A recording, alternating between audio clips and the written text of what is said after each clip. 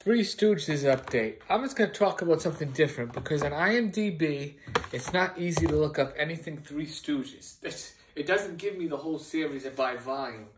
You know, it's kind of like when you look at the Three Stooges as a physical copy, it's kind of split up all over the place. I don't think there really is no true complete set. I don't think they sell one.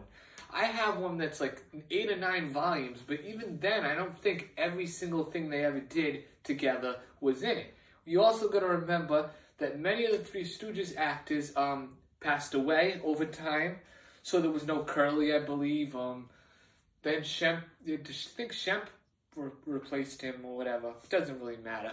Well, it does matter, but it um doesn't matter right this second. Um, I just like to say that The Three Stooges is a great show to get on DVD. It's cheap. You know, it used to be kind of expensive. It was at the price of like $80 at one time for all the volumes I have. You can look at my unboxings and look at them. You can actually buy it now for probably under 50 bucks. And for a while, years ago, was at Best Buy, and then they took out took it out. so that was the end of that. So if you want to pick up the Three Stooges, um, you can just buy it online on Amazon or eBay.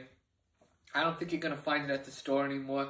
If you do, you'd be lucky. Whatever you do, don't go to an FYE. And I know there's some still some stores around it. I don't understand how. They're so expensive. Um, but um, there's still some stores around. Don't buy it.